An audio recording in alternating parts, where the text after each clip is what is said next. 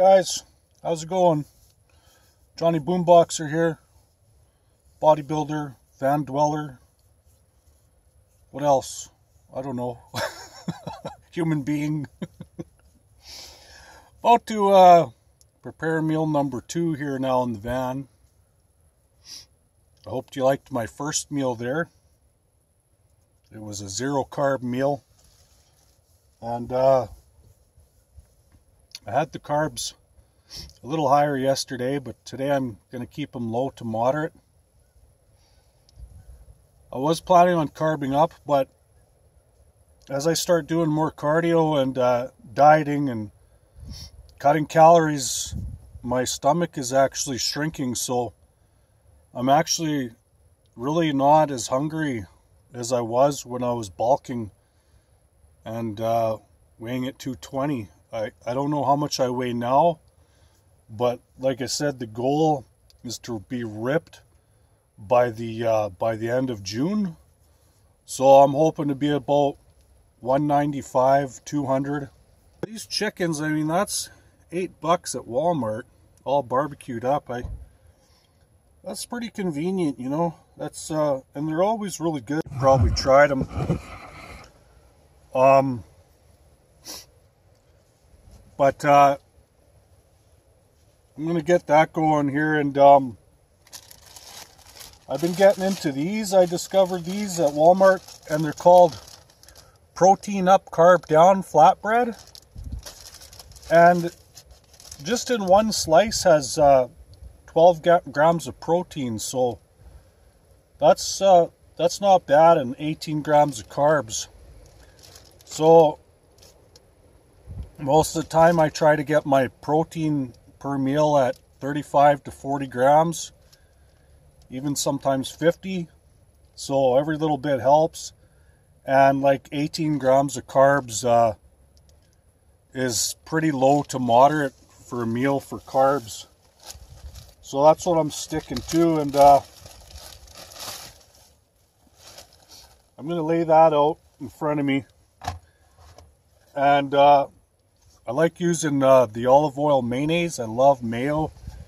And the nice thing about mayo too is it has zero carbs. And these squeeze bottles, you know, if you're doing van life, always try to get the squeeze bottles. It just, you know, with regular mayonnaise jars, you got to dip in there with a knife. And the squeeze bottles are so much cleaner and come in so much more handier and uh, I've always been a crack, uh, crack. I've always been a, uh, a fan of the stone ground uh, prepared mustard. Um, so I'm going to put some of that on there too.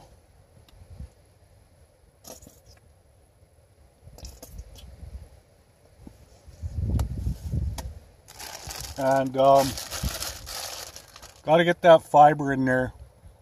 And when you're eating lots of greens like this, um, your body actually consumes more calories burning it off than what it actually consumes. So more greens and stuff like this you can get in you on with every meal is is just another way to uh, speed up your metabolism.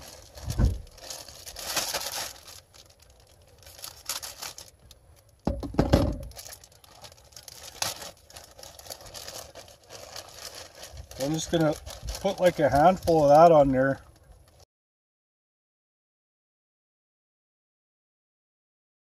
Oh man, so that was a good little meal. Hit the spot. It was just enough.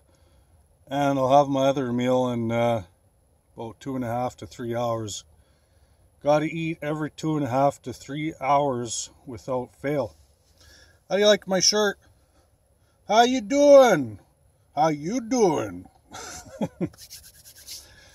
Oh, yeah. So I, I wanted to show you some stuff. I, I'm not normally huge on ordering anything on Amazon. I'm not very computer savvy. And I don't have a credit card and all that jazz. But my, my girlfriend, God bless her, um, she, uh, and this is like Christmas today because my stuff came in and I just wanted to show you what I, what I got. So first off, I got this book, and it's uh, Edible Medicinal Plants of Canada, because I, I am from Canada in Alberta, and um, part of the plan here with the van dwelling, van life, is um, as it gets a little warmer here, I want to get out into the bush. First, I'm going to start in the city, like in the in the in the public parks.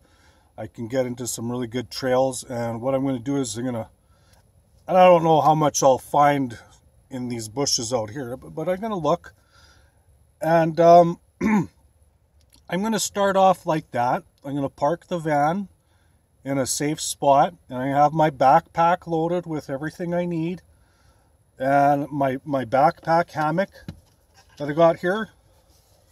So that comes in really handy. I got that at Canadian Tire, and I'm going to do some some backpack, uh, some ha hammock camping um, in the woods. I guess some bushcrafting. I mean, I've did camping before, but I'm not going to be paying for, for a campsite. I'm going to sneak off into the into the public woods here in the city, and that's where I'm going to start. And as I start getting more experienced, I'm going to go to bigger places, uh, national uh, forests, and um, provincial parks. Uh, I'd like to uh, make my first trip out to uh, Jasper and um, yeah, so I that's the first thing I got off Amazon. But I'm gonna have more videos coming up for that. Like I said, as the summer gets warmer, this isn't just about van life. I, I want to get into surviving off the land and bushcrafting and fishing and all that. So that's all part of this this van life thing is I want to be a survivalist all round. I want to know how to survive in any situation. I just feel that when you have that experience under your belt, it just takes away any worry because you you you know that no matter what happens, you lose your job, whatever the case may be, you're never going to be homeless. Ever. There's no such thing as being homeless if you know how to live off the land. For me anyway, I'm not I'm not an alcoholic, I'm not a drug addict, so that's not going to hamper me in any in any way, which it does unfortunately with some people in the city here, and they're not out there by by choice. A lot of times they're out of there because of their habits. But this is going to be by choice, and I, am going to get out there and I, I want to experience this, and I, I want to do this uh, for as long as I can. So it's got some really nice, colorful pictures in there. I'm really impressed by this book. It's got a beautiful cover. So I got that. And then for working out, I got these. these they're called uh, fat grips. And uh, it's so when you're grabbing the dumbbell, you really do, you get a, if you're pressing, got two of them, you, you put that around the dumbbell and it opens up uh, right here. And you get that that on the dumbbell and it just makes your grip nice and fat. And it just you know it, it just feels different on your forearms. It feels better. It feels really good.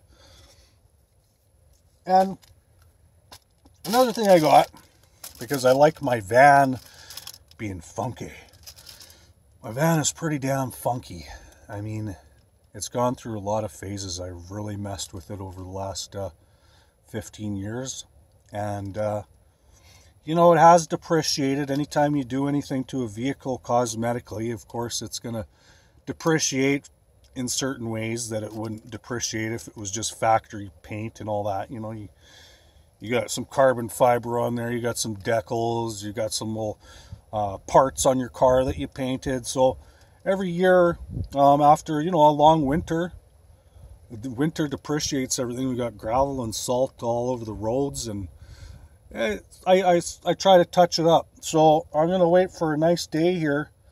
And I'm going to pull up into a parking lot somewhere where it's private and I don't have people watching me and wondering what I'm doing. And uh, this is going to be my first thing because I, I did have my whole front end, the hood painted blue, like a light blue. And then I had my bumper painted fluorescent blue And then I had this all over my bumper, and this called rocker panel. So it creates a really funky, crazy look. So all that depreciates. And one side of my hood, I did a sticker bomb on one side. And it was awesome, well chosen stickers that I got at the flea market. And I, the only shitty thing was, is I clear coated it. And you got to watch what kind of clear coat you get. Make sure you get good automotive clear coat because this stuff turned yellow and it flipping next year it started peeling off and then all my decals I had on there all started going crappy and so one thing I learned with a sticker bomb if you get good stickers you really don't have to clear coat over top. So I ordered some on Amazon and I got 200 of them and uh, they're all mixed in there. They're all different ones corporate ones anti-corporate you know all kinds of funky graffiti looking ones. So I'm going to do the whole side of the hood like that and that's going to be a really fun day. So I'm going to give you guys a video on that. And uh, yeah that's it. That's all so I, I really hope you like like the video and I got more to come because this is the life I live and I'm just being real here this is what I do and uh, you know I hope I can inspire you guys and, you know, and uh, if you're thinking about getting into this lifestyle, how fun it can be and how you can save money and you can do anything you want while you live live out of a van. You can still visit friends. You can still knit a sweater. You can still have a little dog if you want, even a little cat you can still do all kinds of recreational things. You can still go to the gym. You can still play volleyball. You can do everything. You can live in a house, but you're always there because you're always ready to go. So you're going to be there before anybody else.